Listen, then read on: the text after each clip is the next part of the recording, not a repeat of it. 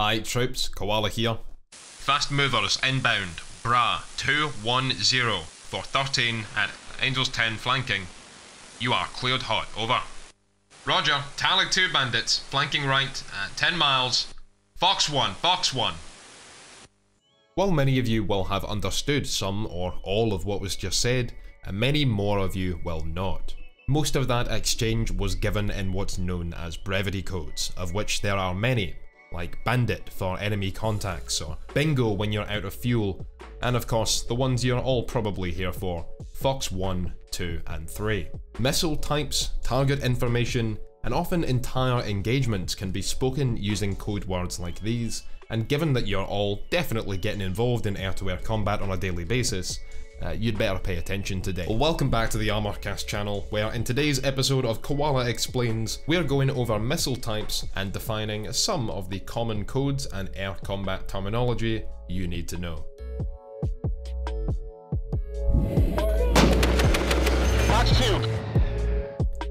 Before we go into missile types and active combat terms, uh, let's go over some of the basics. So first, bogey, bandit and hostile. Now these are all terms for aircraft contacts and they all mean different things. A bogey is an unidentified contact. It might be an enemy, but it also might be a friendly aircraft, a neutral asset, say from another nation, or a civilian like an airliner.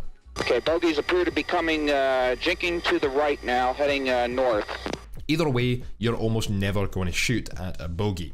Now, if the bogey is moving suspiciously, like towards you at Mach speeds, uh, then he's a fast mover, which means a jet, and he's a threat, but he is not yet a bandit or a hostile. A bandit is a confirmed enemy contact, but one that is not currently engaged with you or friendly units, and not breaching the rules of engagement for that theatre. So try not to shoot him, you might accidentally start World War III, and that really doesn't look good on your resume. If the bandit launches a weapon at you or friendly forces, or otherwise breaches the ROE, which do change for different theatres, then you can call him a hostile, which generally means that he can be shot at freely.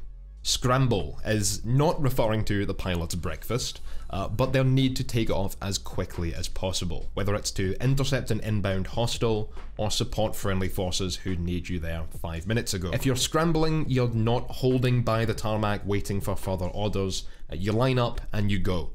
Angels refers to your own or a target's altitude in thousands of feet above sea level. So Angels 3 means 3,000 feet, Angels 9, 9,000 feet, and Angels 85 means you'd better have a damn good oxygen supply. Looks like a flight of two, Angels 10. Roger means you received the transmission loud and clear over your radio, and Wilco means you will comply with any orders or directives you were given in that transmission. This one is a bit of a formality though. If your commander orders you to engage a target and you respond with Roger moving to engage, I think they'll know what you mean. Bingo. This is one that is often used incorrectly, and it does not mean that you are out of fuel. Bingo means that you are low enough on fuel that you need to return to base now uh, to be able to land with something left in the tank. If you're out of fuel, you probably should have called bingo about 15 minutes ago, but you've probably got more pressing problems to worry about now. And the last basic term to keep in mind, a bullseye, and again, don't confuse this one. Bullseye doesn't mean that you hit the target and the boys need to shout you another round, unfortunately. A bullseye, or just bulls, is an established point in midair from which bearings and directions may be given. Bearings, by the way, are compass bearings, so 090 means 90 degrees or due east, 210 is southwest, etc.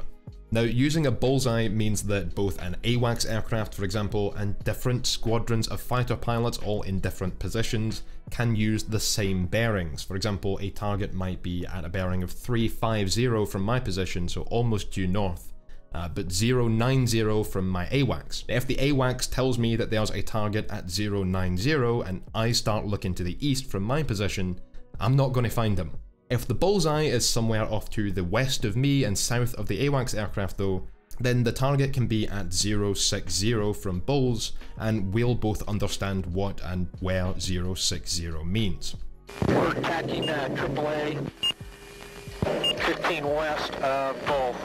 Bullseye doesn't have to be anything specific, it is an arbitrary point in the sky that is agreed upon before a mission and loaded into everyone's maps, uh, so that all assets involved will know where the bullseye is, otherwise there's not much point. So, now we get into the fun stuff, the weapons. Starting out with our air-to-air missiles. When you launch one of these, you'll give a call out Fox, either Fox 1, Fox 2 or Fox 3, and now these numbers are not you keeping track of how many missiles you've launched. Your first missile may, and in the modern day usually will, be a Fox 3. Uh, the Fox callouts refer to different types of air-to-air missiles using different guidance systems. Fox 1 refers to a semi-active radar homing missile, like the American AIM-7 Sparrow, uh, Russian R-27ER, or the British Skyflash. Fox 1, Fox 1. Oh, Jesus. Now, a semi-active radar homing missile is a radar homing missile that cannot guide itself. It communicates with the launch aircraft and follows its radar towards the target. As such, when you launch an AIM-7 Sparrow, you have to keep that radar contact locked. If you lose radar lock, that missile will fly off into the ether and self-destruct. The benefits of this kind of missile are that they can engage a target from any angle and at much greater ranges than our next kind, and can be terminated, say, if you lock the wrong target. So next, Fox 2 is for infrared guided or heat-seeking missiles like AIM-9 Sidewinders, R-60s, Magics if you're French, etc. Now these are your weapon of choice for dogfighting. IR guided missiles home in on the heat signature of the enemy aircraft, which means that at substantial ranges outside, say a few miles, they're not going to be able to see anything to track. However, it should be noted that the Soviet Union made use of long-range heat-seeking variants of their Fox 1 missiles, uh, for example the R-27ET or the R-40T which the MiG-25 used. Uh, so these are infrared-guided variants of the standard radar homing uh, R27s or R40s. Now these deserve their own video though, so suffice it to say that outside of these examples, IR missiles are short-range missiles meant for close-in engagements, and are typically much smaller and lighter than the larger Fox 1s or Fox 3s. Early heatseekers could only track a target from the rear, where they could see, quote-unquote, the target's exhaust, uh, but more modern Sidewinders or R73s can track targets from the front as well, if the ranges are within a couple of miles. Because these missiles are fire and forget, a pilot can't control them after launch, so if you hear Fox 2, it means please don't get in front of me with your big juicy afterburner, there's nothing I can do to stop this thing from hitting you and friendly fire is just really embarrassing. Fox 2 type missiles can be fooled with flares, which are magnesium strips that are dropped from pods and lit up to serve as infrared decoys, uh, flares won't detonate a missile, however, like you see in some movies, so you still have to maneuver out of the way. Uh, one thing a surprising amount of people don't seem to realise is air-to-air missiles beyond the very earliest models like the AIM-4 Falcon uh, do not require direct hits. They have a proximity fuse that will detonate the missile near the target. Uh, so if you dump flares but just keep flying in a straight line, uh, you can still get hit, you're still pretty screwed.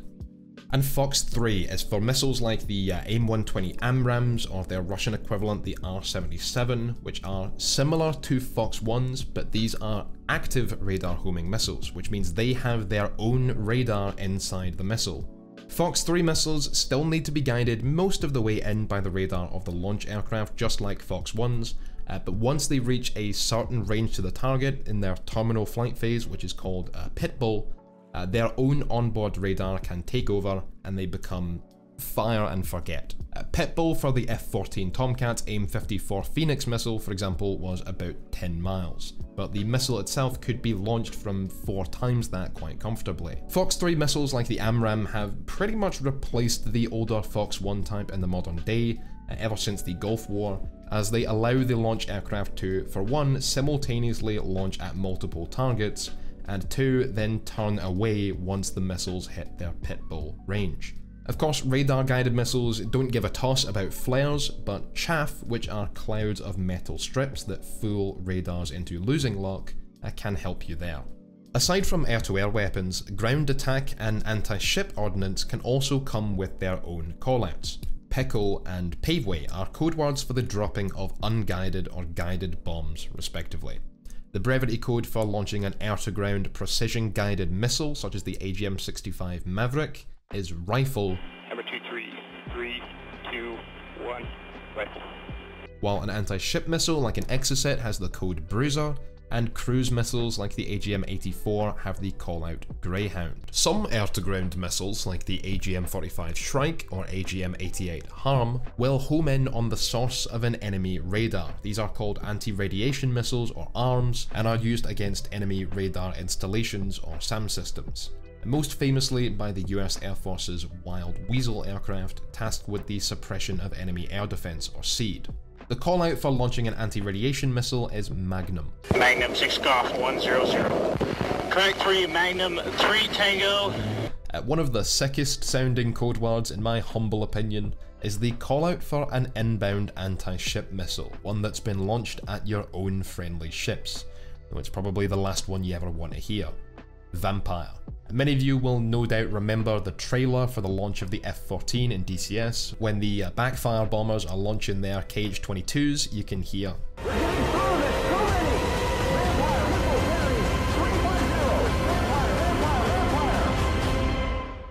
Oh, gives me chills. Ripple, by the way, is when several munitions are launched in rapid succession, all at the same target or group of targets, so in that clip you had Vampire Ripple Bearing 310, meaning multiple anti-ship missiles inbound from the Bearing 310 or northwest. Alright, so now we get into some of our active combat terms. Uh, we're not going to be talking about fighter maneuvers here, that could be a video all of its own, or three, uh, but we do cover those kinds of things over on my other channel where we have a whole series of mock dogfight videos you should come check out, link below.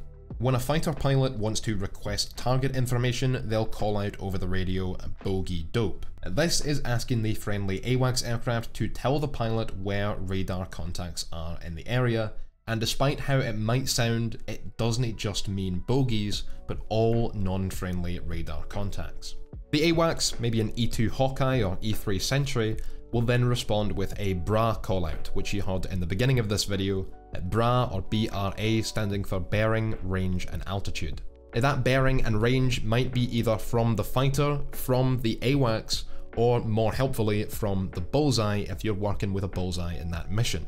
Altitude is obvious, either say Angels 10 or they may just say at 10,000, and sometimes there will be an aspect given too, so BRAA, and that will be hot if the target has their nose towards you, cold if they're facing away from you, and flanking if they are travelling perpendicularly. Keep in mind the difference between bearing and heading. Bearing is the direction to the target from your position, while heading is the direction you or the target are facing and or travelling. So you can be put on a heading towards a bullseye, but a bullseye does not have a heading, because it's not moving.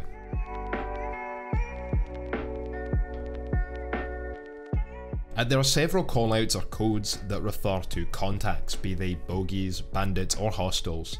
A contact, by the way, meaning a radar return, not the entry into a dogfight, which is called the merge. Tally means you have the contacts within visual range. Raygun means you are locking them up on your radar, and nails, spike, or buddy spike means they have you on theirs. At the callout nails means you are being detected by another aircraft's radar, while Spike means that that radar has locked you up as a target. If a friendly aircraft some miles away calls out Raygun, and all of a sudden my fighter's radar warning receiver starts lighting up and bleeping that I've been locked, I will call out Buddy Spike, which tells my friendly that it's me they've got on their radar screen. I'll then give a heading and altitude which the friendly aircraft can check against their radar contact they've just locked to make sure they don't launch a missile at the wrong target. If I'm being locked by a ground radar, on the other hand, the callout is mud rather than spike, and I'll then give a bearing to that ground radar for the sake of other friendly assets. Hammer 3 is Mud 3 north. Hammer 3 defending 060 Mud. That F-16 pilot was shot down by the way, that's terrifying. If you say mud, your commander may tell you to break or scram. Pilot 1, break left.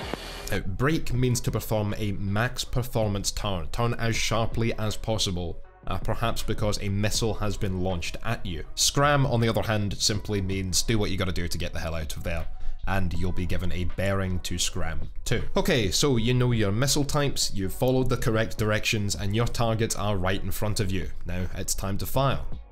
Well, actually, first of all, you should never say fire in an aircraft. If launching a missile, you say Fox or any of the other weapons callouts, and if you're shooting your gun, you'll say guns. Uh, that term used to be Fox 4, but that is no longer used. Saying fire, on the other hand, gives the impression that somebody is on fire, uh, which is going to cause some unnecessary panic, though it usually tends to be worse in a civilian aircraft. You also most likely need to wait for permission to fire. Wait, and may be told to continue dry, which means to hold your current course, but do not release a weapon until given clearance to do so. Uh, perhaps because it's unclear if there are still friendlies in that area, or you're in an airspace where you do not have authorization to act. Another callout which means the same thing will be weapons hold. Close out, uh, warning yellow, weapons hold. I repeat, warning yellow, weapons hold. Alpha Bravo out. Now, the brevity code cleared hot means you are free to engage your target, and you may also hear the call out weapons tight or weapons free. The first of those means that you are cleared to engage all confirmed enemy contacts, bandits included. If combat breaks out, they are guilty by association and can be declared hostile. Weapons free, on the other hand, gives you license to engage anything that is not a friendly target. Doesn't matter what it is, if it's not friendly forces and you can kill it, you kill it. When you do, Splash is the callout for enemy targets destroyed, and at the end of the engagement, you'll be told to cease fire or hold fire, at which point you are not cleared to engage uh, any more targets or launch any more weapons. Hold fire also means that any weapons in flight already that can be terminated, such as AIM-7 Sparrows or AIM-54 Phoenixes before pitbull range, should be terminated immediately if possible. This might be because you're straying into another nation's border, and uh, killing your target in someone else's airspace can get you into big trouble with Daddy United Nations. When all is said and done, you'll be told to return to home plate, which is your base or aircraft carrier. Right, well done pilot, you've graduated the Armorcast School of uh, Air Combat Terminology, so now let's revisit that opening clip. Fast movers inbound, Bra 210 for 13 at Angels 10 flanking. You are cleared hot, over. Roger, tally 2 bandits, flanking right, uh, 10 miles. Fox 1, Fox 1. Type in the comments below, what does that coded gibberish translate to? If you get it wrong, well, you're spiked and uh, I'm ready to Fox 3. Well that's it for this video, these were just some of the most important, most common of the dozens of NATO standard brevity codes, and uh, before you ask, I'm not aware of any Chinese or Russian equivalent systems, but if you're flying around with some friends in DCS, now you can talk the talk and hopefully walk the walk too. I hope you've enjoyed this video and that if you did you leave a like and subscribe. Thank you all for watching, stay safe, and I'll catch you in the skies. Thank you to all our supporters on Patreon for making this video possible, with a special thanks to Mo, Ian Anderson, Universi, Dean Winger, Tsukoshi Tiger, Captain Fubar, Dragon of the West, and Dagger68. If you like this video, I hope you subscribe and check out our other content, and if you really like what we do here, then consider supporting the channel on Patreon. And thanks for watching. Carrying capacity was up to four 500-pound Mark 82 bombs and a single Mark 83 on the centre pylon, but the OV-10 could also carry FFAR or Zuni rocket pods, and the option of a 20mm cannon, the same gun pod used by the A4 Skyhawk. If that weren't enough, the US Marine Corps variant even mounted Sidewinders. Because of that, where would you even put this vehicle?